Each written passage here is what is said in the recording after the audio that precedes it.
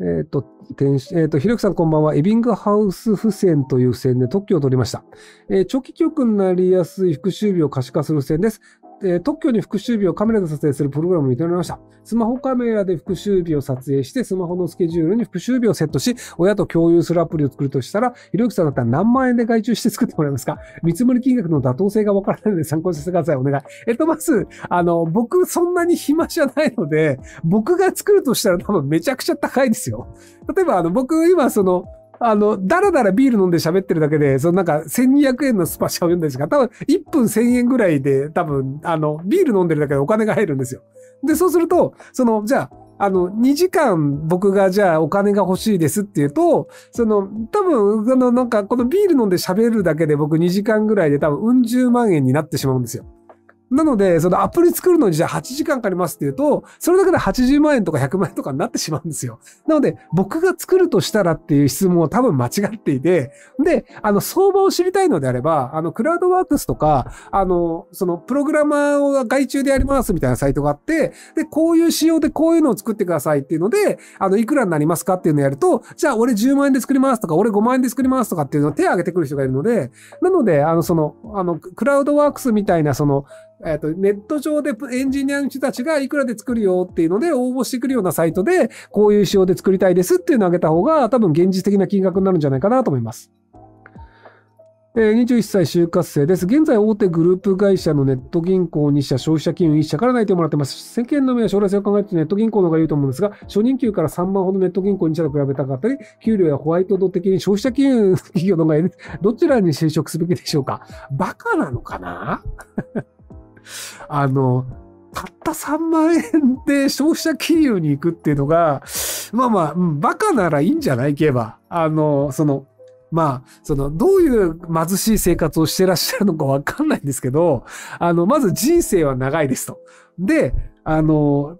まず多分消費者金融に行くと、あの、必ず転職すると思います。99%転職します。あの、まあ、たまに1%くらい転職しない人いると思うんですけど、じゃあ、転職するときに、消費者金融で働いてましたっていうのを転職するのと、大手グループ会社をネット銀行ですっていうので、転職するハードル全然違うんですよ。で、そこがたった3万円で心が動くっていう時点で、多分社会のことが分かってないんだと思うんですよね。なので僕バカなのかなって言ったんですけど、それぐらい物事を分かってないので、なので自分の頭で判断するのはやめてください。なぜならバカだから。なので、あの、僕は大手グループ会社のネット銀行住みますけど、あの、お父さんお母さん、かいあの、大学の先生とかに相談してみてください。で、大学の先生とかが消費者金融の方がいいよって言ったら消費者金融言ってください。ただ大学の先生とか、あの、お父さんお母さんとか、あの、まともな大人がネット銀行とかいいよって言ったら、あの、何も考えずにネット銀行行ってくださ。い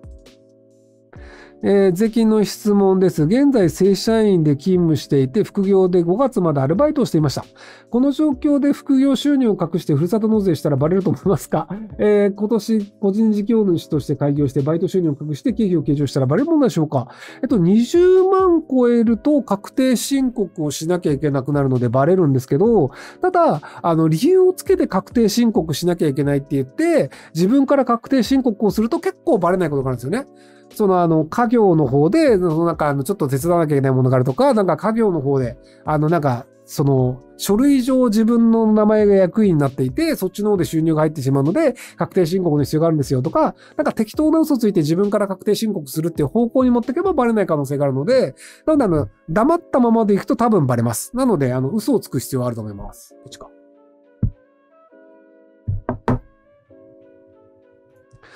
えー役所勤めです。54歳の職場のおじさんに困っています。ウェブマニュアル用の文章を依頼したら、えー例では3ページほどでお願いしてるんですが、21ページ提出されました。忙しいのでメールやチャットで打ち合わせは分かり合えないから嫌だと言います。電話をやっと切ったら別の通りに私の役所に LINE したのを間違えて私に送っていました。どう対処するのが正解と思われますか？えっと、まず、あの、嫌だと言ったら、じゃあほっといてください。あの、その僕と仕事をするのであれば、あの、その、メールやチャットでしか打ち合わせはしません。それが嫌なのであれば、他の部だったり、他のチームだったり、転職するなりお好きにどうぞっていうので、相手に対して折れる必要はないと思います。多分あの、まあ一応それなりのそのポジションなんだと思うので、なのであの、要はその、無能な人に合わせるっていうのをやる癖はやめた方がいいと思うんですよね。まあ役所だと難しいかもしれないですけど。まあ、あのね、その無能に合わせるっていうのは日本の悪い癖ですよね。え、48の介護士です。30代は商業誌で青年向けのエロ漫画を書いていました。時代の流れでハードな内容が書けなくなってしまい、介護士に転職してしまいました。単行本は実させています。介護士の仕事は特に好きでもなく、給料も安く、体も辛く大変です。このまま続けるのか漫画をまた書こうか悩んでいます。またもし漫画を書くなら商業以外ならどのような方で発表するのがいいのかご存知ですら教えてください。えっと、多分有名な漫画の同人誌を海外向けに僕書くんじゃないかなと思いますけど、あの、日本国内だと割と修正がどうこうってあるんですけど、あの、海外向けの二次創作エロ漫画って、あの、具を書いても何の問題もないんですよね。で、DL サイトとかって日本向けなので具を書くとアウトなんですけど、で実は外国人向けっていうののえあのエロ漫画サイトって何書いても法律触れないんですよ。なので、僕だったら海外向けでワンピースとか有名なエロ漫画とかの書いて、んで、ツイッターとかでたまにそういう絵を載せて、んで、まあ、そのなんかワンピースのエロ漫画書いてますっていうので、匿名でアカウント作って、たまに絵をちょこちょこ上げておくと、多分それフォロワーとか増えて、で、新作あげましたって言うとそこで売れるみたいに。いや別にハリーポッターで書けってわけじゃなくて、あの、エロ漫画に金払うのは日本人ぐらいしかいないので、なのであの、日本人向けに出すんですけど、ただ海外の販売サイトを使う方が、あの、要はその、そこら辺の規制の問題を避けられる可能性があるんじゃないかなと思います。これ捕まったとしては、あの、僕のアドバイスに従ったとか言わないでください。えー、いつも楽しく見てます。仕事で業務効率化しまくってチームに動いてもらう感じで楽してます。えっと、コメントで絵うまいのって書いてあるんですけど、単行本10冊出してるってことは相当うまいと思いますよ。あの、その、1、2冊はいるんですけど、多分10冊まで出されるってことは画力がきちんとないと出版社がついてこないので。えー、仕事で業務効率化しまくってチームに動いてもらう感じで楽しまくってます。えー、今期サボりすぎて自分目線でも何も成果を出してなそうに見えるので、昇給を狙うにはどう立ち回ればいいでしょうか？上司に聞いてください。あの、よくある間違いなんですけど、あの、答えを知ってる人がいるときに答えを聞かない人って多いんですよね。その、昇給を決めるのが、まあ、大体の場合会社って上司なんですよ。なので、あの、上司にどうやったら給料上がりますかね？っていうのを直接聞いてみて、あの、上がらないっていう会社多いんですよ。その場合はもう転職してください。いや、その、会社の売り上げ自体が増えなかったら、その給料上げられないよね？っていうのがあるので、今の段階では、その何か売り上げを上げるとかやらない限り給料上がらないよね？みたいな言い方をした場合って、逆にじゃあ売り上げ上がれば給料上がるんですよね。っていう現地を取ったってことになるので、じゃあ何パーセント売り上げ上げればいいんですか？とか、じゃあ売り上げないくらになったらいいんですか？っていうので、それを達成すれば給料上がるって話になるので、なので給料上げる権限のある人に何して上がれますかっていうのを確認するっていう方が早いと思います。少なくともあの赤の他人の40代のビール飲んでるおっさんに聞いたとして、うん、こうしたら給料上がるよ、みたいなことって、まあ言う人いるんですけど、嘘です。はい。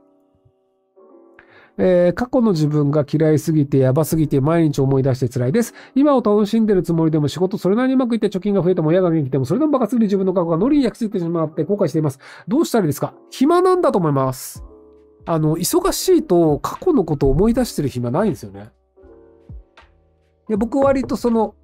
あの、少しでも暇な時間があると、ソシャゲをやったりとか、ネットフリックスで映画を見たりとか、最近だとあの、散歩をしてお金が貯まるアプリみたいなのがあったりするんですけど、まあそんな感じで割とその、僕、毎日すごく忙しくしてるんですよね。別にあの、過去に嫌なことがあって、その、あの、過去を振り返りたくないというわけじゃなくて、単純にあの、やりたいこと、好きなことがいっぱいあるので、あの、忙しいっていうので、なのであの、暇だからろくでもないことに時間を使ったり、その、どうでもいい過去のことを思い出すっていう、その、脳のリソースをどうでもいいことに使ってしまうので、なので、あの、忙しくするといいんじゃないかなと思います。えー、こんばんは。病院勤務の理学療法士です。患者さんの話をうまく終えることができず、次の患者さんのリハビリに遅れてしまうことが多いです。どうすれば話をうまく切ることができるでしょうか？何かアドバイスお願いします。あの、すごく難しいので、僕、切らないっていうのもある種その人の、まあ、治療の一種なんじゃないかなと思うんですけどね。あの、結局その、あの、あ、時間だから無理っすとか、ちょっと今相談乗れないっすっていう切り方をした方が、確かにあの、サクサクと仕事は終わるんですけど、ただ、まあ、その、患者さんもそれなりに心配事があったり、こうしたいとかっていうのがあって相談してると思うんですよね。あの、すごくイケメンで、どうでもいいおばちゃんが話しかけてくるとかであれば、さっさと来てください。ただ、その、まあ、こういう風な状況を直したいとか、じゃあ、こう、どんなリハビリをしたら自分はもっと早めに復帰できますとか、やっぱ心配事とかがいっぱいあると思うので、で、それに真摯になって相談に乗ってしまうっていうのは、僕はそれは別に悪いことではないと思うんですよ。もちろん、次の患者さんに迷惑をかけるってあるんですけど、ただ、なんか、そこでそのドライに割り切って淡々と仕事をするっていうのができる人はいると思うんですけど、でもなんかそういうドライに割り切ってやる人って、医療従事者向いてない気がするんですよね。要はその、あの、困ってる人を助けたいっていう気持ちで多分やってらっしゃると思うので、なんかその気持ちを失う必要は僕はないんじゃないかなと思うんですけど。なので、あの、次の人が横で待ってるっていうので、あ、ちょっともう次の人来ちゃったから、じゃあ5分だけね、みたいなの言うと、じゃあ5分なんだな、みたいな感じでやってくれると思うので、困ってる感を出すといいんじゃないかなと思います。えー、27あ、はじめに他の患者さんもいるため何時までですって言うってコメントが、まあこれも正しいですよね。えー、27歳男、市役所勤務5年目です。えー、仕事の情報能力、えーと、仕事の処理能力、コミュニケーション能力が週に比べて低く、職場で孤立してしまいます。仕事に行くのが辛く、転職や辞めることも考えましたが、市役所の仕事をこなせない自分が今後やっていけるのか不安で決めきれません。人と関わらない生きている仕事は何かありますでしょうか？何か生きやすくなるアドバイスをいただきたいです。えっ、と、まあ、何のスキルがあるかによるんですけど、あの、役所のレベルできついとすると、民間はもっときついと思いますよ。なので、あの、プログラムだったり、絵を描いたりっていうので、あの、自分のそのスキルが、まあ、絵描くだったり、音楽を作るだったりで、金になるかっていうのを、ちょっと土日暇な時間に試してみてください。で、なんかプログラムの副業で食えるんだってなれば別にいいと思うんですけど、そうじゃないのであれば多分民間より役所の方がよっぽどマシだと思うので、なので、あの、自分のスキルっていうのが、その、まあ、結局その稼げるスキルっていうのがないのであれば役所にいるっていうののままの方が安全なんじゃないかなと思うんですけど、はい。あ、ガリベンズ矢野さんが始まった感じですか？すいません。ちょっとあの、ビールがなくなったので、ちょっと続きのビールを持ってきます。すいません。そうですね。あの、みんな大好きシンハービル。暗くなってる。なんかあの、タイの、タイでシンハービル以外飲むことほぼないかな。あ、違うな、なんか、タイガーとかあったか。えっ、ー、と、とりあえずあの、タイに行けばシンハービルってすげえ有名なビルなんですけど、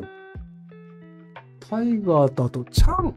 あれ、チャンってタイだっけ？なんか、もあるんですけど、一応あの、タイで行くとシンハービルってすげえ有名なビルがあって、それです。ガリベンズがひろゆきの悪口言いますって言ったとすいません。なんかいろいろご迷惑をけして。はい。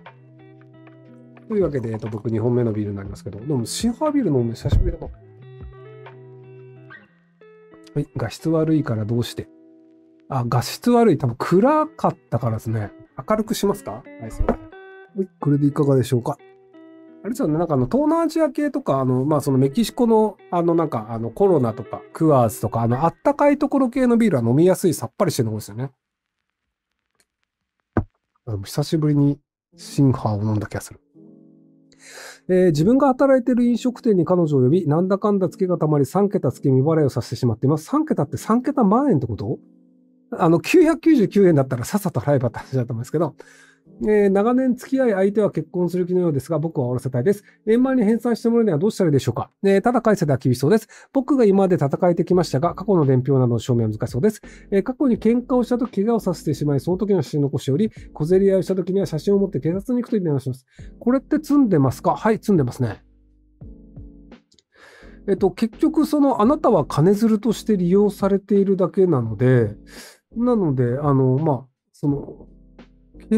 婚をするんだったらいいと思うんですけど、結婚する気がないのであれば、多分もう諦めて別れた方がいいと思うんですよね。なので、あの、お金は帰らないものだと思った方がいいと思います。そんなもんです。はい。あなので、積んでますかっていう質問に関しては、はい、積んでます。なので、あの、まあ、3桁つっても100万円ぐらいだと思うので、まあ、あの、高い勉強代だったなっていうふうに理解するといいんじゃないかなと思います。インドのビール美味しいよ。インドってビールあったっけ？で、あ、でもなんかインドで飲んだ気もするな。まあいいや。えー、僕はアラサーの高卒独身です。出稼ぎしつつ仮想通貨投資で資産1500万にして地元に帰って婚活をしようかなと思ったんですが、いざ地元に帰るとまだまだ投資で増やしていきたいという思いが強く、上京して働こうかと思うんですが、田舎で家庭を持って安定した方がいいのかどっちか迷ってます。えー、ひろきさんの視点でアドバイスお願いします。えっと、田舎で仕事があるんだったら田舎に戻ってもいいと思いますけど、仕事がないんだったら結局都会に戻らざるを得ないので、仕事があるかどうか、もしくは自分が会社を作る気があるかどうかっていうので考えればいいんじゃないかなと思います。えー、はじめまして、F1 が好きな高校生です。アブダビ GP へ行った経緯とレースの感想を教えてください。えっ、と、あの、レディオブックっていう会社のお手伝いをしてまして、で、そこが、あの、フェラーリのスポンサーをやってるんですよね。なので、あの、フェラーリの横に、あの、レディオブックのマークがあるんですけど、持ってきた方がいいかな？いやー、マイクオフでしたね。すいません。マイクオンにするの忘れてました。はい。ミュートでした。はい。えっ、と、あの、見えるかな？この、えっ、と、あの、なんかあの、真ん中にちょっと出っ張ってる下のところで、シェルの横の白いところ、あ、なんかあの、えっ、ー、と、シェルわかります？黄色いの。あ、でもこれフォーカスが合わねえな。あ、えっ、ー、とね、R って書いてある白いところが四角く囲まれてるのが、えっ、ー、とあの、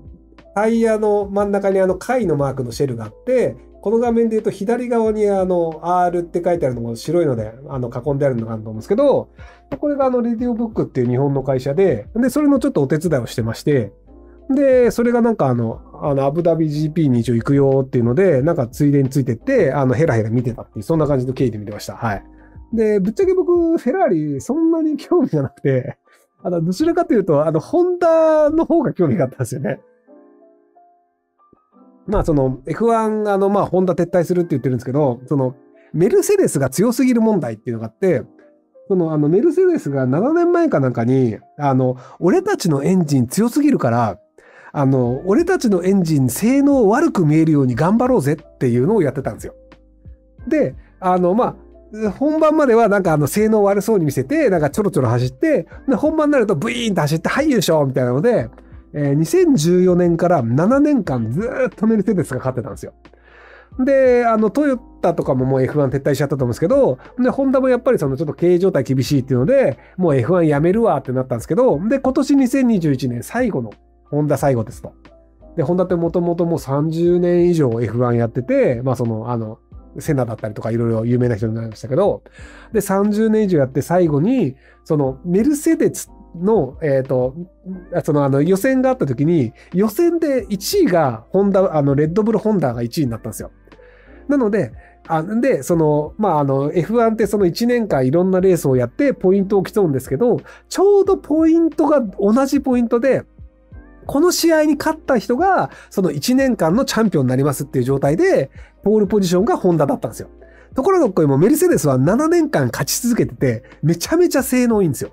なので、まあ、普通にやったらやっぱメルセデス勝つよねと。で、その、まあ、あの、頑張った結果予選のポールポジションをホンダが取ったんですけど、まあ、案の定走っていくうちにメルセデス抜かれるわけですよ。で、メルセデス抜かれて、どんどん差が広がって、まあで、ああ、まあやっぱり最後のホンダでもそりゃ勝てないよね、仕方ないよねっていうところで事故が起こるんですよ。で、あの、事故が起こった場合、セーフティーカーっていうのが入ってきて、で、そのセーフティーカーの後ろでこうみんなあの車が並んで、一切抜いてはいけませんっていうルールになるんですよね。ね、54、53周目、58周でゴールなんですけど、53周ぐらいで事故って、で、セーフティーカーを入れて、その事故が終わるまではずっとセーフティーカーが回ってるんですよね。で、えっ、ー、とね、57周目で事故の処理が終わったんですよ。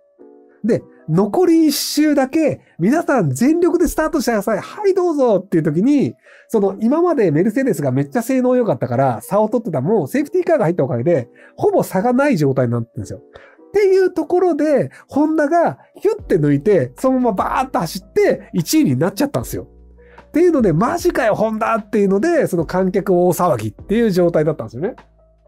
で、普通その F1 の試合って、そのあのゴールラインがあって、ゴールラインこう車が抜けると、それに合わせて花火ドンドンって上がるんですけど、多分ね、花火担当ね、ぼーっとしてたんだと思うんですよね。あの、なんか、ゴールボーンってあったのに花火上がんなくて、みんなボーンって言って3秒ぐらいしてから花火上がってて、いやいや、花火担当、お前ボーっとしてたろ、今っていう。っていう感じで、割とそのもう、あの、その、あの、観客とかチームの人とかが、もうみんなこう、あの、レース場の近くでこう、あの、出てって、その金網の上とかで、ホンダ行けみたいになってるっていう、すごい歴史的な瞬間に僕は、あの、上から目線で見てました。はい。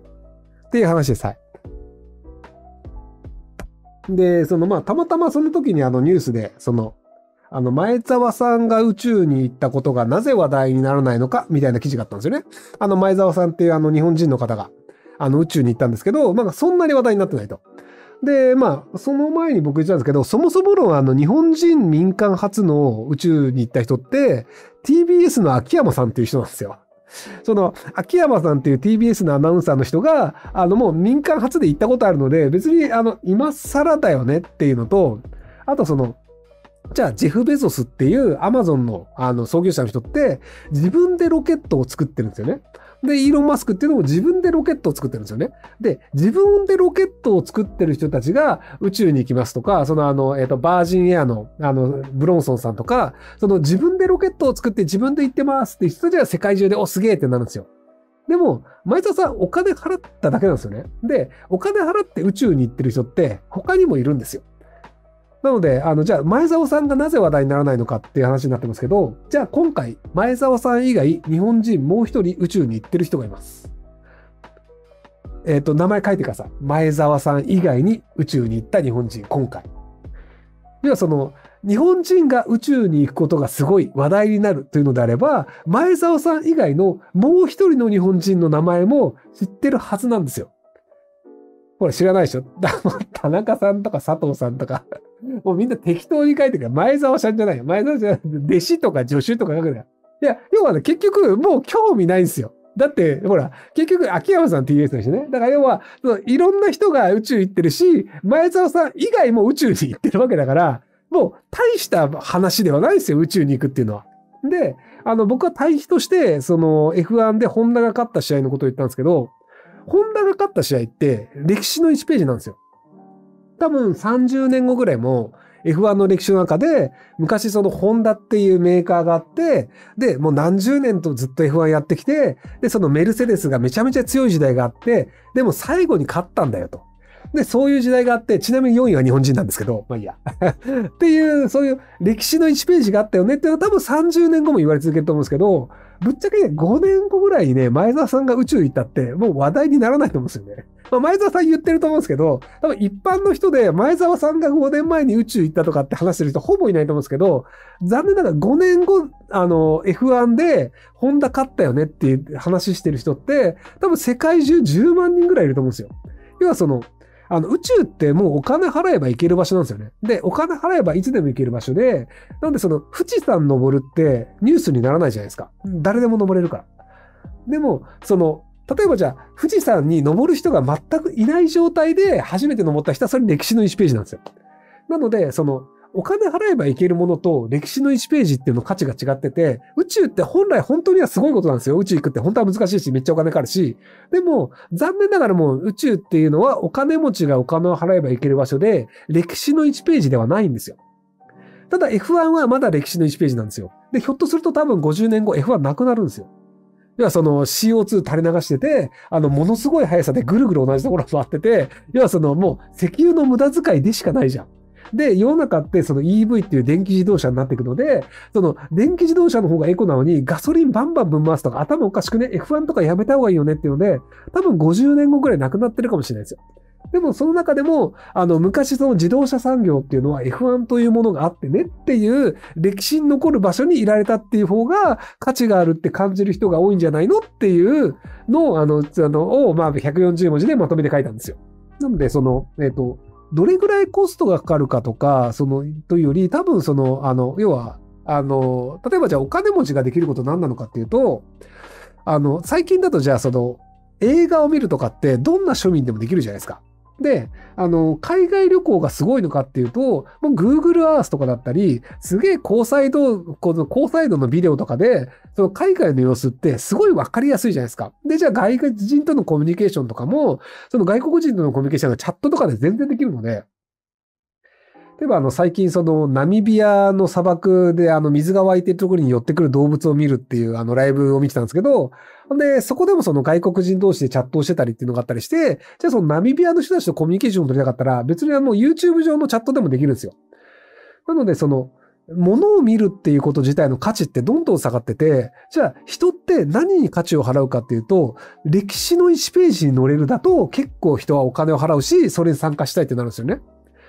なので、その、例えば堀江さんが自分でロケットを作ったら、それに乗るのは歴史の1ページなんですよ。要は民間で日本人が初めてロケットを作りました。で、それに乗りましたっていうのは、その日本の宇宙開発の歴史には名を残すんですよね。要は日本人がロケット作って、で、それに乗ったってなると、多分その日本の歴史の中ではもうずっと残り続けるんですけど、それって歴史の1ページじゃないですか。なので、なんか、要はそこの歴史なのか、よくある出来事なのかって話でいくと、その残念ながら宇宙に行くって、もうよくある出来事の日常になっちゃったんだと思うんですよね。まあその宇宙が身近になったっていう意味でいくと、それはすごく良いことなんですけど、まあ、ただあの目立ちたくて宇宙に行ったっていうのであれば残念でしたねって感じになると思います。えー、20歳男です。中学卒業後18までダラダラし、えー、大麻に出会い、大麻栽培で Twitter 販売していたのですが、自分の頭が悪くトラブルに巻き込まれ現場職に入社したのですが、仕事人ともコミュニケーションがうまくいかず、相互失調症のような症状が出てしまい、祖父の貴金属製造加工会社に拾ってもらったのですが、えー、業績が、業績が悪いため何か言えばしてください。あとパソコンで引き持って食べていけるスキル何か教えてください。えっと、大麻作る能力があるんだったら、もうカナダとかカリフォルニアとか行って、あの、大麻育ててそれを売るっていう仕事をした方がいいと思います。あの、結構質のいい大麻を作ると、ちゃんとあの、儲かるらしいですよ。まあ、あの、カナダで、あの、大麻で上場してる会社もあると思うので。えー、ひろゆきさんは伝送という会社ご存知でしょうか？ご存知でしたら印象や将来性について伺いたいです。今期は過去最高益と言いながら過去最低水準のボーナスで不信感を抱き転職を考えております。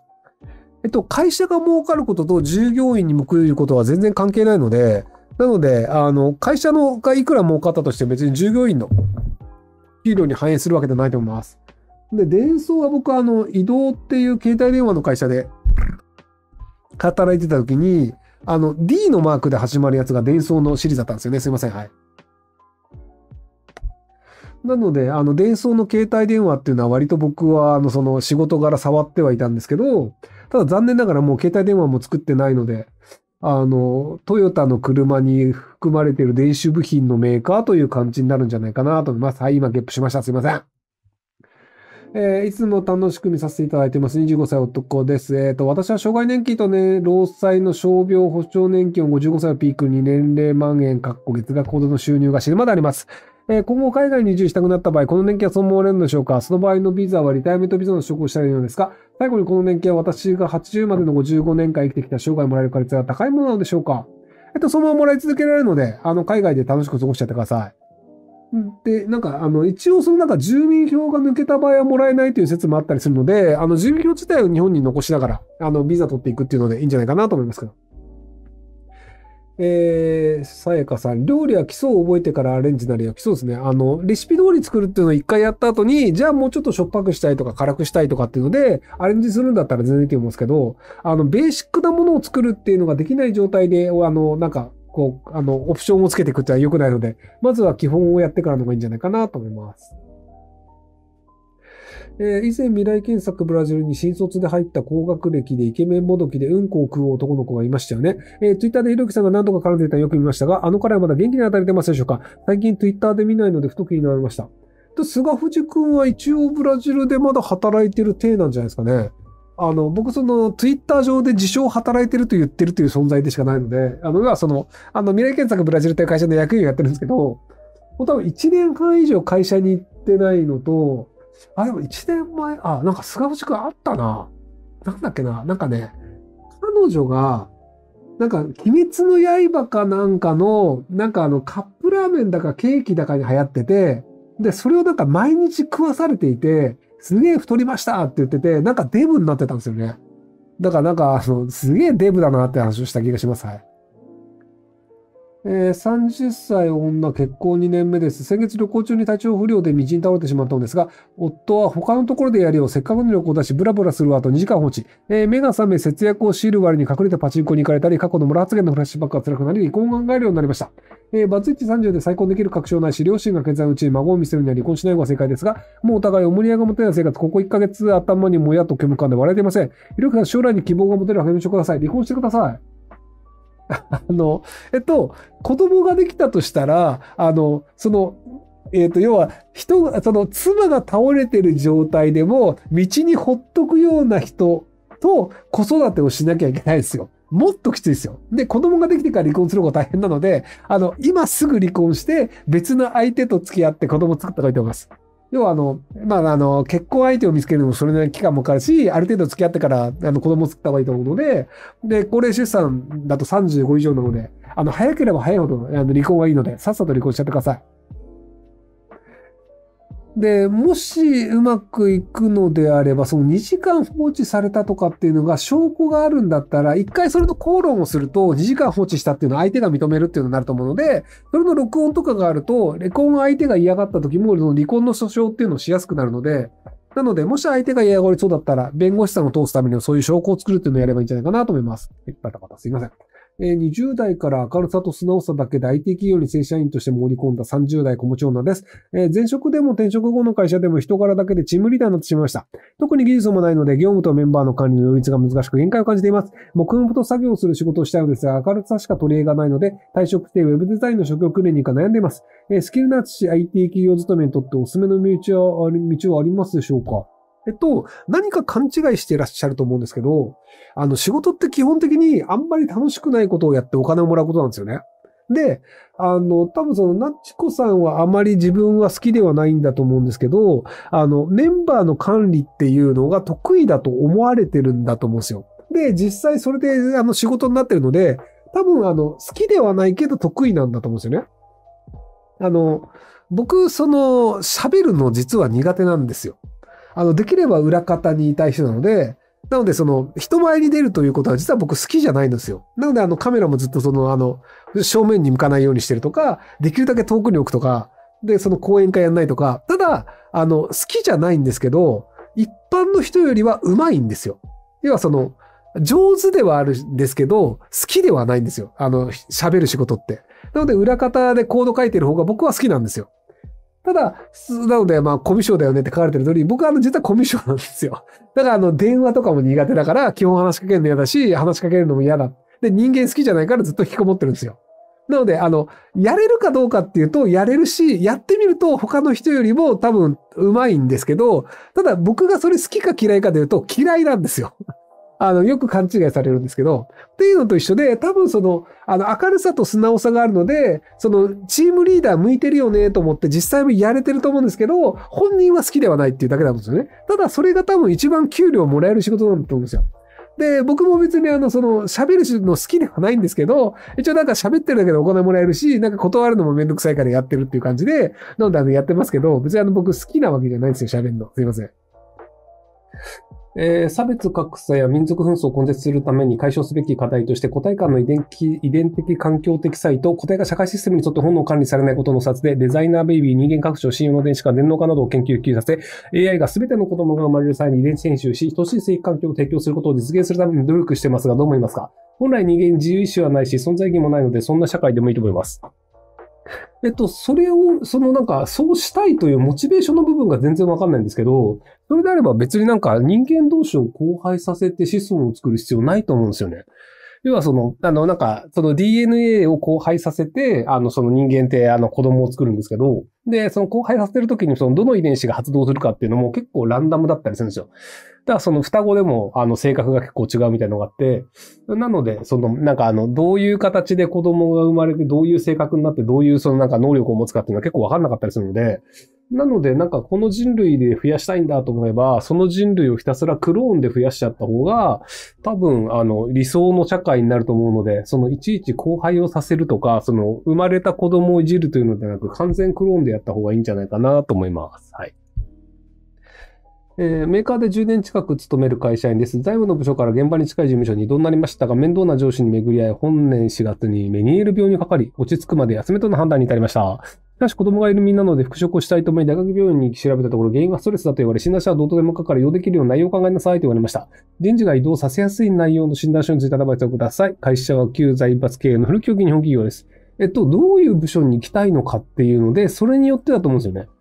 で、その体力仕事がしたくないんだったら、その体力仕事はちょっと向いてないですっていう診断書書いてもらえばいいと思いますし、で、なんかあの、経理とかそこら辺のなんか数字一流系行きたくないのであれば、そのなんかあの、計算能力がちょっと下がってますみたいな書いてもらえばいいと思うので、なので、あの、その移動させやすい内容というより、自分が行きたい場所がここで、ここに行きたくないなっていうのが明確になった方が、お医者さんとしては診断書書きやすいんじゃないかなと思います。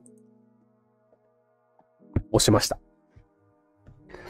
えー、子供の頃からずっとウルトラマンが好きな20代です。最近は毎年約25話構成で新作が放送されており、過去作品配信サービスや年末年始や東京ドームで大きなイベントなどを開催しています。一時期新作が出ないグラフの時代が何度かありましたが、こうして再び人気を集めているのは何か理由があるのでしょうか？やはり日本の景気が関係してくるんでしょうか？見解聞かせていただけたら嬉しいです。えっと、基本的にその、あの、一時期新作が出なかったという時期が、そのなんかウルトラマンの権利がタイ人が持ってるのか、日本の会社になるのかっていう裁判をしていた時期で、で、それが明確になって、その後、つぶらやプロが、なんだっけ、アルファベット3文字の会社に入流して、みたいなところから、また戻ったっていうので、なので、もともとその仮面ライダーがずっと続いているように、ウルトラマンシリーズっていうのもずっと続いていたと。で、その、要は、あの、全然知らない話よりも、自分が子供時代に見てたものを見せたかったりするんですよね。だから仮面ライダーを見てた親が子供に仮面ライダーを見せるとか。っていうのがあるので、そのウルトラマン世代だった親たちもウルトラマンの子供に見せたいんですけど、それがなかったっていうのが、あの、まあ、特殊な事情があったのでなかったっていうだけで、基本的にはその、あの、なぜ続いてるのかではなく、なぜ止まったのかっていう方が、あの、なんか知っといた方がいい点なんじゃないかなと思いますけど。えばその、サザエさんとかちじまる子ちゃんとかってずっと続いてるじゃないですか。で、あれって別にそのなんか、あの、めちゃくちゃ面白いと思って見てるわけじゃなくて、まあその子供の頃にちびまる子ちゃんを見て育った親が、じゃあ大人になって、まあ子供と一緒に見るんだったら、まあ自分もストーリーわかるし安心だよねっていう感じでなんとなくつけるっていう消極的判断なんですよね。そう積極的にちびまる子超見てって言ってる親とか子供ってそんなに多くないと思うので、なので、そのブランドができたものっていうのは、その消極的に選択されやすいっていうのがあるので、なので続けておくと得ですよって話だと思います。ドラえもんとかジブリとかもそうですね。えー、中学2年生で先日うちの学校の教師の写真を LINE などネットで広めてしまい頭も悪いので僕は将来ちゃんと働けるか心配です。何かアドバイスありませんか？ちなみに教師の写真は誰かが盗撮したものを僕は拡散しました。なんで教師の写真を広めると良くないのかっていうのと、その、なんか、広めるとなんで働けないのかがちょっとわかんないんですよね。なんか、面白い写真を広めたんですか？で、なんか面白いものを広めて、ネットで話題になってよかったよねっていうのは別にあのネット上みんなやってることなので、別に気にしなくていいんじゃないかなと思いますけど。ただその先生が出してもらいたくない写真を出したのであれば、それがその名誉毀損だったり、わいせつだったりに引っかからないので、その、あの、人に評価され、ネット上で評価されるようなことをやるっていうこと自体はいいんですけど、ただ他人に迷惑をかけないようにやろうねっていうところだと思います。なので、働けるかどうかというよりは、あの、訴えられないためにどうすればいいかっていうところを先に考えた方がいいんじゃないかなと思います。えー、僕は慶應義塾大学薬学部出身ですが、最近 SNS について悩むようになりました。えー、僕は東大生の友達を多く作りたいので、各 SNS やリアルでの生活では東大生や東大卒医学部ぐらいしか絡まないようにしてるんですが、最近エフラン大学出身や低学歴の人たちに SNS で目をつけるようにひたすらブロックしたり逃げたりします。なぜ日本は高学歴の人たちに対する嫉妬が激しいんでしょうか？日本の学歴社会が辛いです。えっと、結局その高学歴の人に憧れるっていうので、その慶応大学のアスペルグさんが東大の人に憧れて一生懸命フォローしているっていうのがあるので、なのでその憧れるっていうのと嫉妬するっていうのは同じ感情なので、なぜそうなるんでしょうかっていうのはご自身の胸に手を当てて考えてみればわかるんじゃないでしょうか。えー、地方公務員30歳女性の転職相談です。文系を理系、文系を理由に薬学部中退、拓郎で KKDR 入学出歴あり。KKDR ってなんだ？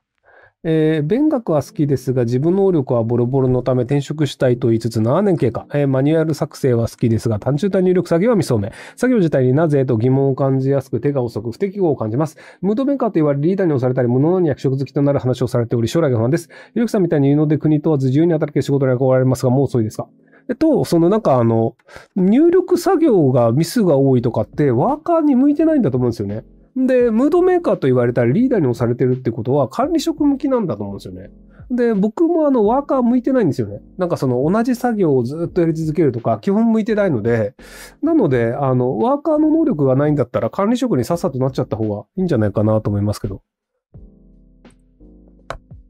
えー、25歳童貞コロンビアおじさんです。今度マッチングアプリで繋がった年上の女性とカフェに行くことになりました。童貞卒業したいと思ってるんですが、女の子とキスすらしたことがないほど恋愛経験が乏しいため、ラブホへの誘い方がうまくわかりません。え非童貞で喋りの上手いひろゆきさんならどのような流れでラブホに誘いますか？また初デートの時にこれだけ意識することありますか？あるなら教えてほしいです。えっと、まず最初に初デートでラブホに行けると思ってる時点でもうちょっと漫画で読みすぎです。はい。あの、初デートはまず相手がどんな人なのかなっていう見極めるだけの状態なので、その何か性的なことができる場所だと思わない方が良いと思います。はい。これが最初のアドバイスです。えー、33歳男です。不細工なことが辛いです。モテないのは仕方ないと納得できるんですが、それ以外で雑に扱われる場面が多々あるのがどうしても納得できません。これがこの先50年くらい続くと思うと割としんどいです。今すぐ死ぬ以外にこの苦しみから逃れる方法はないのではないかと感じます。楽になるヒントをいただけないでしょうか。えっと、33ぐらいだとそろそろだと思うんですけど、あの、右霊にして清潔感があって、結婚してなくて、痩せてるだけでモテるようになるんですよ。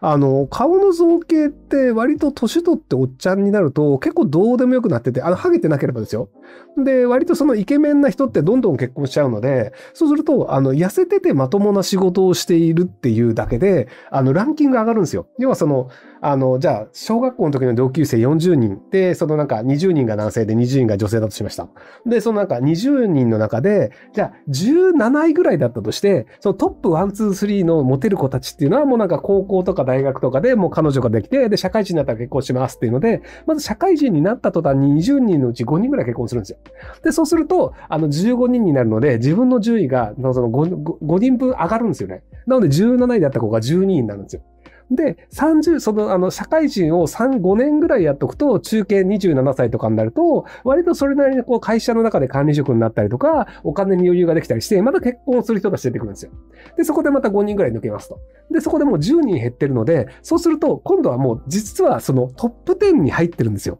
トップ10といってもまあ10人のうちの7番目なんですけど、とはいえトップ10に入ってるんですよ。なので、だいたいね、20後半までになると、実はトップ10に入っていて、で、30過ぎると、女性の方が、あの、結婚したい欲がめっちゃ強くなったりするんですよ。要はその子供を産みたいと思ってる人の場合って、35までには結婚して子供を産まなきゃいけないよねっていうのは、その高齢出産になると、あの、何かと大変なので。っていうのがあったりするので、で、なので、ハゲてないとか、ちゃんと働いてるとか、で、それ、なんか、それな、その、なんか、あの、その、清潔感のある服装をしてるとかっていうだけで、そのトップ7だったのが、トップ3ぐらいまで上がったりするんですよね。要は、他の人がハゲたりなんだったりで、どんどん勝手に脱落していくので。なので、その、なんか、顔の造形って、実は男性が30過ぎると、そんなに重要ではないんですよ。なので、あの、まともな会社で働いてるブサイクとかも平気で結婚してたりするので、あの、死んだ魚のようしてる性格の悪いデブなおっさんがなんか最近あの、声優の人になんか好かれてるっていうのを聞いて僕はびっくりしたんですけど、まあそんな感じでブサイクでもなんとかなるらしいですよ。えー、初めてスパチャします。登録者60万人のバレエ YouTuber の山海と言います。ひろきさん、バレエを見たことがありますか？もしなかったらバレエをいつ見に行きますか？えっと、もしなかったら多分一生見に行かないと思うんですよね。要はその、あの、45なんですけど、僕45までバレエを見なかったら多分もう一生見ないと思うんですよ。まあ、ところがどこ一応僕バレエは見たことあるんですけど、あの、オペラ座と清里と、あと東京でどっかで見た気がするな。っていうので3回ぐらいは見に行ってます。はい。こんな答えのために6000円払って大丈夫ですか？えー、30代前半早慶卒大手金融に勤める独身男性です。20代の頃は恋人もいたのですが、ここ2、3年結婚と遠トークそろそろ結婚したいと思っています。えー、スペック的には結婚に困ることはないと高くてなんですが、内心男尊女卑の考え方が強いところがあり、夫を立ててほしいと思う節があるところは友人からも指摘されます。こうした点は致命的な問題だと思いますが、また何が問題なのでしょうかえっと、相手の人が、その女性がどう考えるかで、あの、その九州出身の女性って、割と男尊女子が、男尊女卑が当たり前だと思っちゃってたりするんですよね。要はその、ある程度九州って、そのなんかあの、男性を立てる文化だよねっていうのは薄々あるんですけど、結構それがその根に染みちゃってて、あの、完全にその平等であるというのはならないのが当然だよね、ぐらいに思ってたりするので、なのであの、九州の女性を積極的に探すといいんじゃないかなと思います。山海さんは割と有名な方だったみたいですね。すみません。えー、年収700万27歳男、貯金400万、職業、現場作業員、去年から法人を作って無借金で戸建ての賃貸経営をしています。えー、年間売上120万です。もっと物件を増やしていきたいんですが、人づてと現金が圧倒的に足りないので、知識を蓄える目的でお金を稼ぐ目的で、収益物件の不動産会社に営業職に転職しようと思っています。えー、ありでしょうか？去年の宅建試験落ちました。あ、全然ありだと思います。結局、その、ある程度ちゃんと、あの、まあ、売上がその、あの、利益としての120万だとすると、これ利益で120万ってことですよね、きっと。あの、なんかそのコストも含めて売上120万だとマイナスになると思うんですけど、まあ仮に利益で120万上がってるのであれば、あとはいかにいい物件を知るかっていうことだと思うんですよね。で、あの、不動産職で働いてると、その不動産市場で一般の人たちが、その目につく前に、そのなんかあの、売り主さんとかっていうのと仲良くなって、あの、物件とか売りたいっていう人にあの会えたりするので、なので不動産のスキルで食っていきたいのであれば、不動産屋に就職するのは全然ありだと思います。要はその、あの、レインズ的なその不動産情報を登録する前に、そのあの、なんか、お金持ちとかこういうの売りたいんだよねとか、あとレインズには載ってるんだけど、その一般のなんかあの、あ、なんか、ヤフー不動産とかに乗る前に、その不動産業界だけで情報が出回ったりみたいなところで、あ、これお得だなっていうので自分で買っちゃうみたいなのができたりするので、なんでそこら辺のあの、情報の感度を高くするために不動産屋系に入っちゃうのは全然ありだと思います。えー、毎晩ひろゆきを聞きながら寝ています。海外在住です。海外で日本円稼ぐならひろゆきさんなら何をされますか？えー、日本円を稼ぐって結構難しいんですよね。僕、例えば今その6100円、あの、スパチャをされて喋ってるんですけど、えっ、ー、と、結果として Google に入ってドルで日本の会社に振り込まれるんですよね。あの、一応 MCN でガゼット通信というところに所属してるんですけど、で、仮に僕そこに所属してなかったとしたら、多分、あの、フランスの口座にユールドで振り込まれちゃうんですよね。あ、ドドル直接かな？とはいえ、あの、YouTube でやってる限り日本円で振り込まれることはないので、海外で日本円で稼ごうとすると、変換しちゃいけないですよね。そうすると日本人に対して何かを売るっていうことになるんですけど、日本円で受け取るの難しいんですよね。あ、まあ、一応振り込めるのかなこっちの銀行口座って、そう、ドル建ての口座とかはあるんですけど、日本円建ての口座って聞いたことないんですよね。シンガポールとかだと、そのなんかあの、マレーシアドルとかシンガポールとか、あの、アメリカドルとかユーロとかいろんな通貨で、あの、やり取りできるんですけど、で、日本の銀行もその日本円と、あの、米ドル通口座ってなると思うんですけど、ヨーロッパで日本円口座って聞いたことないんですよね。まあ、探せばあんのかもしれないですけど。なので、あの、海外で日本円で、こう、お金を受け取るって結構難易度高いと思うんですよね。その、まあ、例えばじゃあ、あの、米ドル口座で現金でくださいって言えば、ヨーロッパとかって、あの、じゃあ、はい、100ドルねとか20ドルねって、あの、アメリカドルの現金でくれるんですけど、日本円口座で日本円の現金をもらうって聞いたことないんですよね。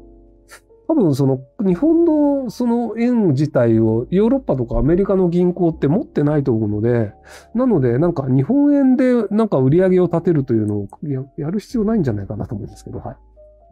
えー、ここ1年です。幼稚園の頃はうんこが1日30回ほど出てたのですが、最近になって1日約2回たまに出たい日もあるまでになってしまいました。また最近母親が怒るようになり、兄になぜだろうと尋ねてると、更年期のせいだろうと言われました。すると母親から鬼のような形相で睨まれました。僕はどうすればいいでしょうか？えっと、兄に尋ねたところ、兄が更年期のせいだって言っただけで、別にあなたが言ったわけではないので、多分母親が睨んでいたのはあなたではなく兄だと思います。なので、こう、兄に対して睨んでるっていうだけで別に自分ではないっていうところで、あの、その、火の粉が来ないようにすればいいんじゃないかなと思いますけど。え、古市さんのすごいところがあれば教えてください。あの、なんかチョコレートが好きで、その美味しくないものを食うぐらいだったらチョコレートがいいっていうので、で、食ったことがないものは、あの、美味しくない可能性があるから食べたくないっていう、すごい保守的な人なんですよね。変わってんなと思ってます。はい。僕はあの、食べたことのないものだったら必ず食べてみようっていう宗派なので、そういう意味でいくと、宗派としては真逆の宗派なんじゃないかなと思います。はいえー、前回の放送でブサイクで結婚諦めてるので長く楽しめる趣味を教えてくださいの僕のスパチャにブサイクで付き合えるようにしてくださいという回答をしているひろゆきさんの切り抜きが YouTube でまた来て、ブサイクな僕がブサイクって言われてる動画で小銭を稼いでる人がいている実を実感して、深夜ということもあって爆笑してやりました。インターネットを思ったら面白いですね。しばらくの暇つぶしになりそうです。ちなみにタイトルは1分間にひろゆきは何回ブサイクと言ったでしょうでした。お礼のスパチャです。よくわかんないですけど、あの、ブサイクの人からお金を巻き替えている僕ですいません。まあでも、あの、その、えっ、ー、と、あの、治る治らないというか、ブサイクの場合って周りが慣れてくれば気にならなくなるので、まあ僕の知り合いで性格の悪い、あの、ね、死んだ魚の目をしてるデブなおっさんがいるんですけど、で、あの人の周りにいる人もそれに慣れちゃってるので、別にそんなに違和感がなく、あの、もう今更ブサイクって言わないっていうのがあったりするので、なので、あの、周りの人に慣れてもらうっていうのをすると、生活上は何の問題もないんじゃないかなと思いますけどえー、大学生です。周りで出会いがないので、今度インカレサークルに参加しようと思ってます。えー、過去に彼女は行ったことがありますが、最近女子と接することがほとんどないのと、男女関係なく初対面の人と仲良くなるのが少し苦手です。どうすればコミュニケーションを発動せず仲良くなるでしょうか？えっと、僕も初対面の人基本苦手でしたね、昔から。で、ただ、あの、初対面の人の方が楽なんですよね。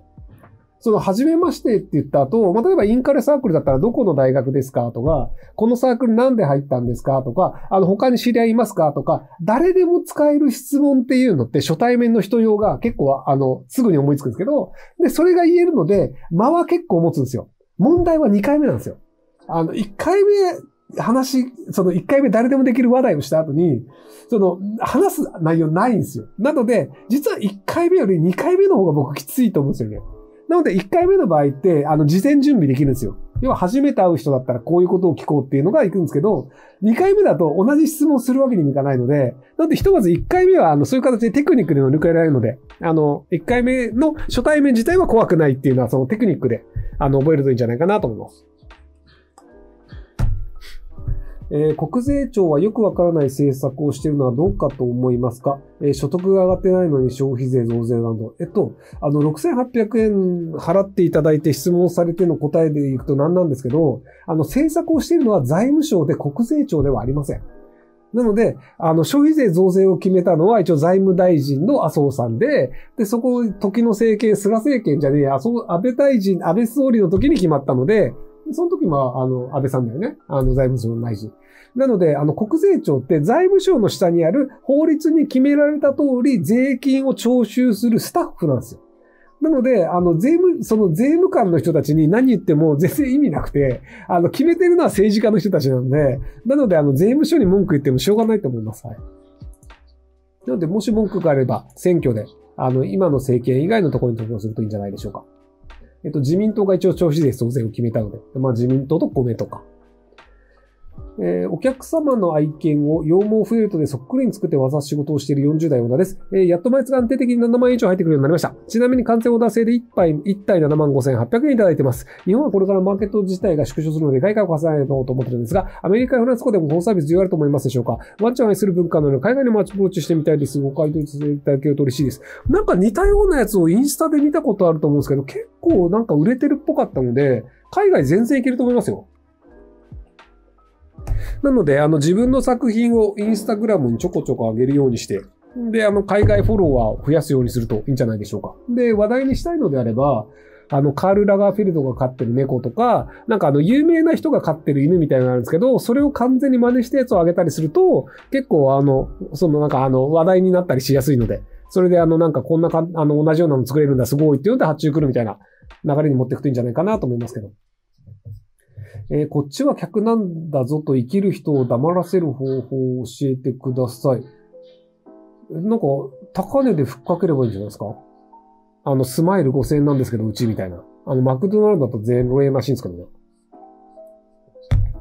えー、先ほどは研修医の質問に答えていきありがとうございました。自分の職場ではうつや適応障害で研修医がどんどん辞めていき、労働基準監督者や労働組合に相談したことがありますが、医師は基本的に労働組合に入っている人は少なく、法律上残業時間の形態が特殊だと言われたり何もできないと思いました。行動を起こすなら何をすればいいでしょうか？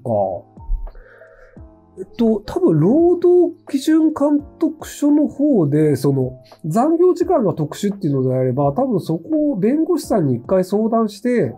で、その、えっと、組合がないんだとすると多分勤務規定が、あの、省庁で決めてるか、実は組合があって了承してるかのどっちかなんですよね。あの、勤務規定って日本で決めるときって、あの、必ずその、労働者が同意をするか、もしくはその、省庁の方で定款みたいな形で決まってる場合があるので、ちょっと弁護士さんに一回相談してもらった方がいいんじゃないかなと思います。40代会社員です。課長、閣下の長、括弧課長から上から好かれていればその課全体は優遇され、好かれてないと冷遇されます。組織社会ってそんなもんなんでしょうか？はい。数年後に課長になりますが、自分はそんなに好かれるタイプではないので、課全体に迷惑をかけないか心配です。今から上から好かれる努力をしていくべきでしょうか？多分もう会社がそういう社風なのであれば、好かれるようにした方がいいんじゃないかなと思います。あの、その課長一人で社風を変えることは無理だと思うので。えードラッグストアに勤めてます。1800円する医薬品のハンドクリームを2ヶ月半で100個売らなければいけなくなりました。えー来客数は平日400人、休日は800人程度です。ただ医薬コーナーに立ち寄る人は総客数の1割、2割程度になっています。ひろきさんだったらどうやって100個売りますか？また医薬品コーナーに立ち寄る人を増やすのでどうしたらいいでしょうか？えっと、ちゃんと売れるものであれば別に値下げして売ればいいんじゃないですか？で、あの、なんか、売らなければいけなくなりましたっていうので、売りたいわけじゃないんだったら、なんかそういうタイプの店やめちゃった方がいいと思いますけどね。あの、結局そのなんか売上目標とかノルマがあるっていうのが、その分もなんかボーナスとか給料に反映するから楽しいっていう営業好きの人であれば全然いいと思うんですけど、多分そうじゃないとすると、あの、多分どうやって売っていいか分かんなくて僕に2440円払って相談してると思うんですけど、この先それずっと続きますよ。あの、一回で終わんないですよ。あの、売れたら、あ、こいつに頼むと売れるんだ。じゃあ次また売れよって言って、ずっとノルマが発生し続けるってなるので、なので、あの、やまあ、やりたいんだったらやればいいと思うんですけど、多分向いてないんだったら、他のドラッグストアに転職した方がいいんじゃないですかね。えー、投稿費が安いとの理由で、ウェブ版のパウンワークの業務委託の求人を載せようとしたら、業務委託はダメとのことで断られました。雇用形態派遣で載せて面接の時に業務委託の話をしようと思います。店舗での販売員を探してるんですが、できるだけ給与を使わずに人を集めたいです。他に何か用法がありますでしょうか？店舗で直接名刺を配っていることを考えています。よろしくお願いします。もう店舗に張り紙して、それなりに高い給料を出せばいいんじゃないですか？結局その、あの、安い給料でまともな人を雇おうとしても、なかなか見つかんないんですよね。なので、そのパウンワークみたいなところにお金を払うぐらいだったら、普通に給料高くして、あの、まともな人を取った方がいいと思うので、あの、えっ、と、コストコっていう、あの、アメリカで割と流行っていて、日本にもちょこちょこ、あの、上陸してる、あの、ほぼ店員がいなくて、あの、でっけえ倉庫のところにひたすら物が置いてあって、で、あの、お客さんはそれを、あの、バカバカでっかいショッピングカートに乗せて、レジに持ってって売るっていう、あの、まあ、お店があるんですけど、で、そこが確か時給1500円だか2000円っていうのを日本中でやってるんですよね。なんか、要はあの、地域ごとに、東京だったらまあ1500円でいいけど、沖縄だったら別に1000円でも集まるよね、みたいなのが、あの、考えがちなんですけど、なんかめんどくせえから全員2000円みたいな、1500円だったかな？まあ2000円か忘れたんですけど、なんかしなきゃ全員2000円でみたいなことしたんですよ。したら、その地方でめちゃくちゃ優秀な人が集まっちゃったんですよ。要はその、普通あの、地方でもまあそれなりに優秀な人っていて、例えばその、あの、大学を卒業したんだけど、実家の方に戻らなきゃいけなくて、本来は優秀なんだけど、別にその、あの、東京とかで働けませんみたいな。で、そういう人が、その、まあ、あの、そこら辺の本屋とかコンビニとかで働いてるんだけど、そのコストコで時給や高いじゃんってなると、その四大卒みたいな人が普通に応募してくるんですよ。で、結果として、ただのバイトなんだけど、普通にその、あの、計算もできるし、じゃあ経理資料も作れるし、で、その、あの、物の配置とかってこうやった方がうまくいきますよね、みたいな提案もしたりみたいなことをやって、なんかすげえうまく回るらしいんですよね。なので、あの、優秀な人って入れると、その優秀な人ってその給料以上のパフォーマンスを出すんですよ。その、なんで、あの、じゃあ、その、リクルートみたいな会社が、その、若手の、なんか、優秀な新入社員に入れたがるかっていうと、その、無能って集めても、給料分、もしくは給料以下の仕事しかしないんですけど、優秀な人って、給料以上に稼いでくれる場合があるんですよね。なので、あの、優秀な人って田舎の方が実は余ってる可能性があって、そのなんか時給1500円だか2000円だかぐらいでも結構優秀な人がやってるので、結果として得をするみたいなのがあったりするので、なので、あの、ちゃんと給料を出すっていう方向で優秀な人を集めるっていうのもありなんじゃないかなと思いますけど。えークイズ大好き、高橋ガニからの問題です。私は一昨日まだ19歳でした。えーしかし来年には22歳になります。さて今日は何月何日？一昨日だから、えっ、と、4月2日？ウルード史的なやつじゃないですかね、これ。えー先ほどご回答ありがとうございました。情報量が少なくてすいません。最近周りの板金屋がどんどん潰れていき、自動運転レベルも上がってきて、事故自体の減少、保険入庫誘導の激減と仕事量がかなり限られているのが現実です。えー僕は定年迎えるまで残る板金や大手に囲い込みされた内製工場のみと言われています。これから先の行動の仕方がさっぱりわからない状態です。えっと、あの、地元の人相手にしていると、地元の人はどんどん貧乏になっていくので、かなりきついと思います。なので、あの、技術を売りにして、要はこの板金屋だったらちゃんと綺麗に直してくれるよねっていうのがわかるような形で、ネットでお客さんを集めるっていうのをやってみればいいんじゃないかなと思うんですけど。例えばそのなんか、じゃあ普通の板金屋だったら、あの、傷直すときこういう感じですっていうので、でもうちだったらその、あの、本当に傷跡がわかんないようにできますよ、みたいなのを、じゃあ Twitter とか、Instagram とかで上げて、で、その、じゃあ、板金屋自体が100キロ先でもう、車好きの人って別に大して困んないんですよね。要は100キロ先に行って預けて、で、3日後に別に、まあ、1週間後なんですけど、で、取りに行っても別にあの、車好きの人って100キロぐらいだったら、まあまあ走るじゃないですか。なので、その地元の人たちっていうのをお客さんにするんじゃなくて、割と技術が高いですよっていうので、その証券としては、その周りの都道府県っていうのを証券にするぐらいにした方がいいんじゃないかなと思いますけど。えー、EU 一般データ法規則 GDPR ってご存知でした。欧州は歴史的に人権や個人情報に厳しい風土があるそうですね。ただ過剰な情報保護のせいで Web 広告のマーケティング効果がはかれなくなったり、消費者もいい商品と接点が減って誰も得しない未来になる気がしています。えっと、ヨーロッパの場合って、大体どのウェブサイトも、あの、必ずクッキーの、そのなんか、取るのを同意しますかっていうのが出てくるんですよ。すげえうざいんですよ。あの、それを見ないと、そのサイト進まないっていうのがあって、なのでニュースサイトとかで必ずこう、なんか agree だかなんだかっていうのをやらされるんですよ。なんか規約を accept みたいな。で、それが一応あのヨーロッパのルールで、あとその、ウェブサイトで個人情報を保存する場合には、そのヨーロッパの中にあるサーバーで保存しなければならないっていうルールがあって、なので、ちょっと前まで、あの、日本のサービスがヨーロッパの人の個人情報を保存するの違法だったんですよ。えっ、ー、と、要はその、例えばじゃあ、えっ、ー、と、ゲーム会社が、じゃあゲームは、そのなんか、ソシャゲをやりますと。で、あの、サーバー自体日本にありますと。で、そこにヨーロッパの、じゃあフランス人の人が、あの、アクセスしましたっていう場合で、そこになんか、あの、名前入れました、登録しましたってなると、その企業違法なんですよ。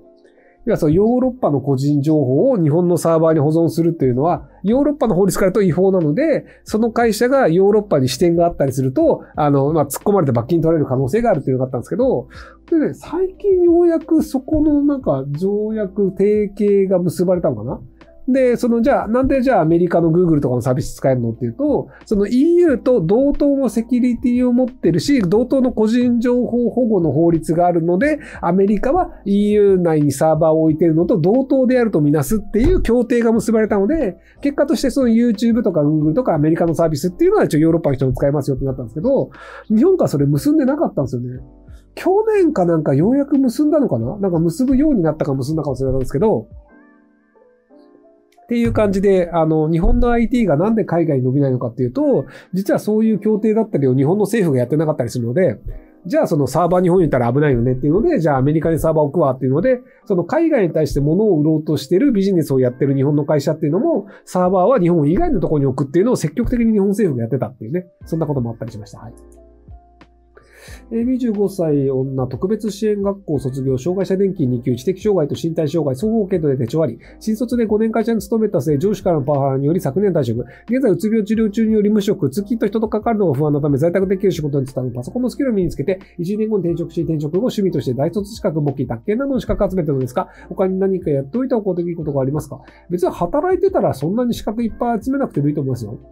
なので、あの、最初に働いてた会社と同じような業種のところにひとまず転職してみればいいんじゃないかなと思うんですけど、あの、パワハラをする人が悪いだけで、で、あの、パワハラをしない会社の方が多いんですよ。なので、たまたまその働いてる会社の上司が良くなかったっていうだけで、他の会社だったら、あの、何の問題もないかもしれないので、でとりあえず、あの、同業他社に、あの、転職してみるといいんじゃないかなと思いますけど、はい。ただまあ、うつ病治療中であれば診断書があれば、とりあえずあの、なんかいろいろもらい放題だと思うので、で、紹介した年金とかももらえると、そんなに生活苦労しないと思うので、なので無理して働かないっていうコースも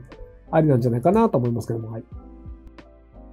えー、私は中卒で年収1000万です。通信業界で接待と二当たりで困ってきています。先月国税が入り8000万請求されて聞いたら社長が愛人に外注として売り込んで現金でもらってました。えー、私は部下を引っ張って今の会社に来て仕事を持ってきてます。えー、辞めて全て奪うか今の年収維持するか迷っています。リュクさんの意見をお聞きしたいです。えっと、独立した方がいいんじゃないですか？今、あの、1000万もらってるんですけど、8000万請求されたってことは、多分それぐらい儲かってると思うので、なので、あの、今のスタッフと取引先を持って独立しちゃった方がいいんじゃないかなと思いますけど、その社長の下で働くメリットがそんなにないんじゃないかなと思いますけど。えー大卒24歳男性です。今まで大した努力もしなかったものです。学生時代から業務委託契約でスポーツインストラクターをしています。大切な人ができたので就職を考えているんですが、インストラクター職的な、職歴になりますか？また就職先を探す際に気をつけることがあれば教えていただきたいです。よろしくお願いします。一応、職歴にはなるんですけど、ただ、あの、普通の会社の正社員っていうデスクワークではないので、そういう意味であの評価をしないというところもあるかもしれないです。はい。えーひろきさんの意見は極論だとネットで言われることがありますが、極論もまた一つの意見として建設的な議論の場で受け入れられるべきでしょうか？うん、あの、割と僕、その一般の人が思う一般的なことを言うことが多いんですけど、多分それを言ってる時って大体スルーされてるんですよね。あの、結構僕普通なことしか言ってないんですよね。その大学行った方がいいですよとか。なので、あの、でた例えばその、じゃあ、あの、えっと、核武装した方がいいですよっていうのを僕言うんですけど、核武装した方がいいよねって、多分日本以外のほとんどの国思ってるんですよね。だってアメリカ核武装してるじゃないですか。で、ヨーロッパっていうのもフランスが核武装してるおかげで EU っていうのは核の傘っていうのになりますよと。で、中国、インドも核武装していて、で、北朝鮮も核武装したおかげでアメリカから攻められなかったよねっていうのがあるので、なんであの国際世論的には核兵器持てるんだったら持った方がいいよねっていうのが多数派なんですよね。ただ、それを持とうとするとトラブルがあったりとかがあるので、なかなか持てないけど、持てるタイミングがあったら持ちたいよねが普通なんですよ。ただ、あの、日本人の人たちって、その、要は、えっ、と、日本人が、の多数派が思ってることが世界の常識であると思い込んでらっしゃる方が結構多くて、いやいや、あなたたち少数派ですよっていうのが、実は分かってなかったりするんですよね。なので、例えばその、えっ、と、クリスマスのパーティーをして、あれキリスト教のイベントなんですけど、で、その12月31日になると、なんかあの神社に行ってこう鐘鳴らして、みたいな。で、あの人が死ぬと、あのお寺に行って、みたいな、そのなんかいろんな宗教をまたぐっていうのが、あの当たり前のように日本人やるんですけど、あんなことやるのって、あの、日本人以外そんなにいないんですよね。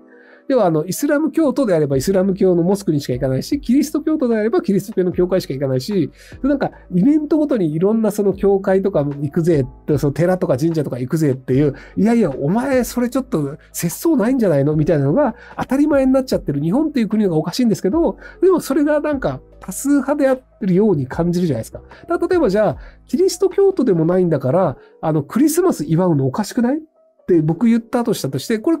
なんか日本だと、あの、極論になっちゃうと思うんですよ。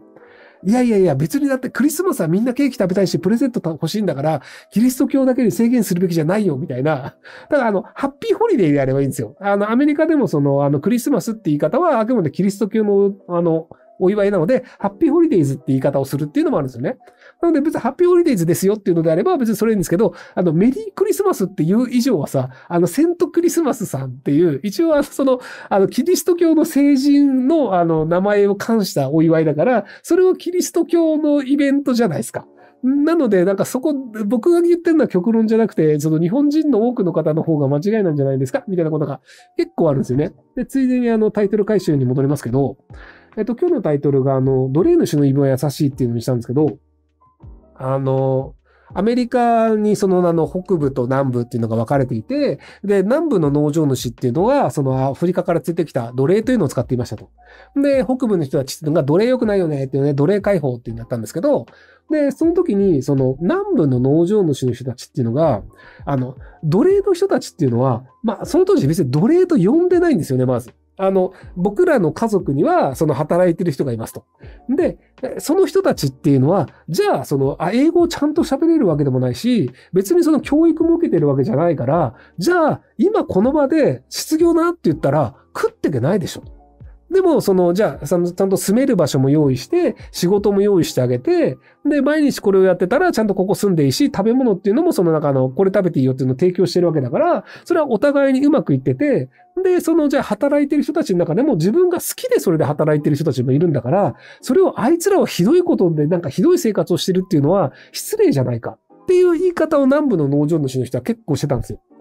で、まあ、さすがにそれどうなのっていうのが、最近ちょうどカニエ・ウエストさんとかが炎上してたんですけど、あの、そのアフリカ系アメリカ人のカニエ・ウエストさんという人が、あの、アメリカでその奴隷が何百年もずっと続いてたのって、あいつら好きで奴隷やってたんじゃねえの？選択の問題でしょ？みたいなことをカニエ・ウエストさんが言って、要はその本当に奴隷が嫌だったら、奴隷やめればいいじゃん。他の仕事すればいいじゃん、みたいな。まあ、まあ、カニエウエストさんは素でそう思ったんだと思うんですけど、なので、そのカニエ・ウエストさんから見ると、それをずっと続けてたってことは好きでやってたんでしょ？そうじゃなかったら好きな仕事すればよかったじゃんみたいなことを言うんですよ。で、まあ、それが、あの、炎上したんですけど、で、それがおかしいよねっていうのが、要は、あの、まあ、他の国も含めてカニエ・ウエストの方がおかしいよっていうことになったんですけど、先日、あの、アベマプライムっていうところに出たときに、その、なんか仕事の話の時に僕、その、あの、コンビニの店員みたいな仕事ってなくなった方がいいと思うんですよねって話をしたんですよ。そのコンビニの店員って基本的にはその仕事がなくてコンビニの店員っていう形で仕事をしてる人がほとんどで、そのなんか、あの、だから小学生の時になんかあのなりたい職業コンビニの店員って書いてコンビニの店員になってるやつってほとんどいないと思うんですよ。その結果として、なんか自分ができる仕事の中で時給が一番高くて、上の近くで、家の近くで働いてたのがコンビニで仕方なくコンビニでバイトをしてるだけで、他の仕事つけるものならさっさと辞めたいと思ってる人がコンビニの店員は多数派なんですよ。なので僕はそういう仕事っていうのを減った方がいいと思ってる派なんですけど、で、そこにそのコンビニの店員を好きでやってて、る人もいるから、そのコンビニの仕事なんかっていう言い方をするのを良くないっていう方がいらっしゃったんですよ。要はその今あのコメントでバカにするなよって書いてるんですけど、そもそもコンビニの店員っていうのはやりたくてやってる人がほぼいない仕事なんですよ。だからそういう仕事って減らすべきっていうのって、奴隷ってやりたくてやってる人ってほとんどいないんですよ。だから奴隷ってなくすべきですよねっていうのは僕が言ってるのと同じ言葉で、で、ただ、それに対する反論として、好きでコンビニの店員やってる人もいるとか、コンビニの店員に誇りを持ってる人がいるっていうのを言った方がいて、で、それってあの、その奴隷を扱ってる農場主と同じこと言ってるよねと思ったら、その、あの、司会というかあの、回しをやってるアナウンサーの方も、その、あの、コンビニというのが、その、あの、自分のスケジュールにちょうどいいから選んでやってる人もいるっていうので、そのフォローをする側にもあったんですよ。で、あの中で僕がひどいことを言っていて、その、あの、コンビニに誇りを持ってやってる人がいるとか、アナウンサーの方っていうのは、その、優しい意見で正しい意見として、その場では通ってたんですよね。で、まあ、だか、ああ、そうなんだ、そういうふうに考えるんだって僕は思ったんですけど、要はその、あの、やりたくもない仕事を結果として選択肢もなく選ばれてやらざるを得ない人っていうのが、その、あの、コンビニの店員、それ自体が言うんですよ。例えば僕もともとあの、コンビニ、あの、ファミリーマートで働いたことあるんですけど、ファミリーマートの店員である僕が、いや、僕コンビニの店員好きでやってますよ。これ全然好きっすっていうのならばいいんですよ。でもそうじゃなくて、そのなんかメディアに出るようなことでお金をもらってたりして、見栄えのいいチャラチャラした仕事をしてる人たちが、そのコンビニの店員も幸せなんだっていうのって、いやいやいやいや、それちょっとおかしくねって思っちゃったんですけど、でも残念ながら僕の方が少数派なんですよね。なので、日本の場合って割とその奴隷主の言い方っていうのが正しくて、そのなんかどんなにひどい仕事でも、なんかそれはみんな楽しんでやってるんだ。その仕事がなんか馬鹿にするのは良くないみたいになるんですけど、僕はそのやるべき仕事、本当にそういう人たちがやりたいと思ってない仕事であれば、馬鹿にするべきでやるべきではないと思うんですよ。で、あの、ただ、その、社会にとって本当に必要だけど、誰かがやらなきゃいけない仕事っていうのがあって、例えば便所掃除とか。で、それは別に誰かやってくれてる人いるからありがたいよねって話で、で、コンビニって多分あの半分ぐらい店舗潰れても、社会的に何も困んないんですよね。要はその、社会を回すために必要な仕事と、金儲けのためにやってるわけでなくてもいい仕事って結構あるんですよ。例えばじゃあその YouTuber っていう仕事って、突然なくなったとしても、社会的に何のトラブルも起きないんですよね。要はその、なんか、じゃあ YouTuber と呼ばれる人たちっていうのが失業しましたなんかその40過ぎてビール飲みながらダラダラ喋ってるおっさんとか、なんかあの、ブンブンって言ってる人とかが失業しましたって言っても、社会何の問題もなく回るんですよ。要は、あいつら必要なかったよねっていう仕事なんですよ。で、コンビニも僕、半分はあいつら必要なかったっていう仕事だと思うんですよね。なんかあの、スーパーも全然なくてコンビニしかないですっていう、まあすごい特殊な地域もあるかもしれないですけど、なので基本的にはその金を儲けるために事業者がやってる仕事で、社会にとっては必要ない仕事だと思うんですよ。で、その、あの、要はそのトイレ掃除とか、じゃあその警察官とか、あの、要はその消防車とか、あの、お医者さんとか看護婦とかすごい大変な仕事ですよね。で、その大変な仕事はちゃんと残るべきだと思うんですけど、残念ながら僕、コンビニは社会を回すためには不必要だと思ってるので、エンターテインメントのほとんども。なんで、ソシャゲとかも別になくなったとしても誰も困んないと思うんですよね。とはいえ僕はやってますけど、はい。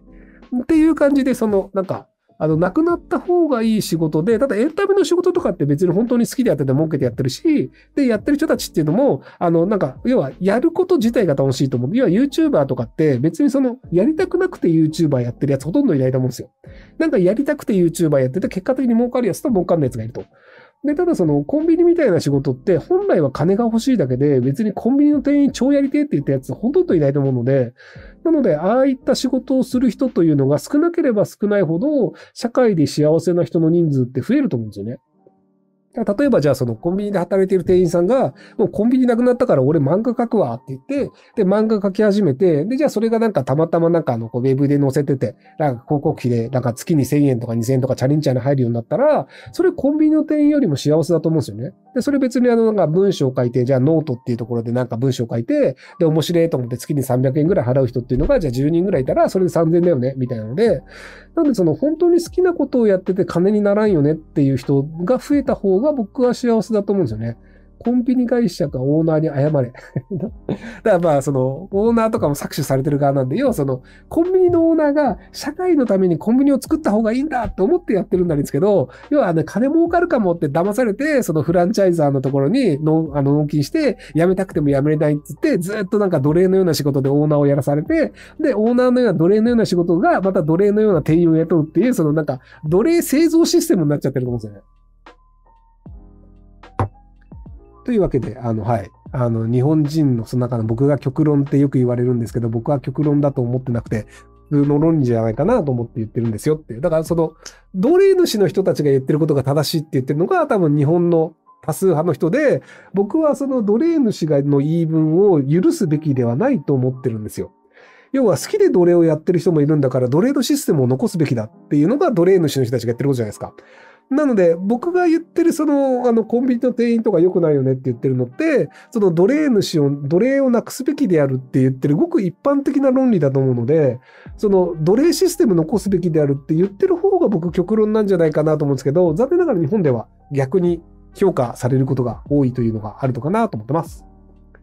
え、23歳、社会人5年目です。現在、宗教法人の事務をしており、自立のため転職を考えているんですが、高卒2度目の転職なこともあり、書類で落ちます。先日やっと進んだ金融業も最終面接で落ちてしまい、面接も試験も何度も受けた割に正直にとても慣れています。えー、もう面倒になってきたので、面接で一度の契約社員を受けて採用になれば正社員登用で頑張ろうかと悩んでいますが、やはり転職するのはちゃんと冷静になって正社員で応募すべきでしょうか。えっと、一回契約社員になった方がいいと思います。あの、どういう状況かわかんないんですけど、あの、宗教法人を履歴書に書くと採用しない会社が多いのは僕はしょうがないと思います。はい。あの、えー、まあ、ストレートに言っちゃうと、宗教法人で働いてるということは、割と宗教にお熱な人ですねというふうに思われることが多くて、で、宗教にお熱な人を敵に回したときに、すげえめんどくせえっていうのがあるんですよね。要はその、あの、割とその団体でそのクレームを言ってくる可能性とか考えると、別にわざわざ宗教にお熱な人って入れる必要ないよねっていう考えになっちゃうんですよ。なので、あの、宗教法人の事務っていうのを履歴書に書いた時点で、あの、他の人よりは採用される率が低いっていうで、別にあの、宗教に入ること自体が善か悪かというと、別に僕はどうでもいいと思うんですよ。ただ、あの、採用する側で、じゃあその宗教にお熱ではない一般的な人と宗教にお熱な人って言ったとき、どちらを取りますかっていうと、じゃあ一般的な人の方が、まあ、トラブルを起こす確率は低いよねっていうふうに思うと。あ、また止まってますね。すいません。なんか、あの、直すのめんどくさいので、の、ビールもなくなったので、今日はあの、このまま喋って終わりにしようと思います。はい。すいません。そっか、終わりますっていうのを出したとしても、あ、これは表示されるの？あ、そうか。そういうことか。カメラの映像はダメだけど、アイコン的なやつは表示されるのか。ああ。じゃあなんか今日ラジオ的な感じで終わります。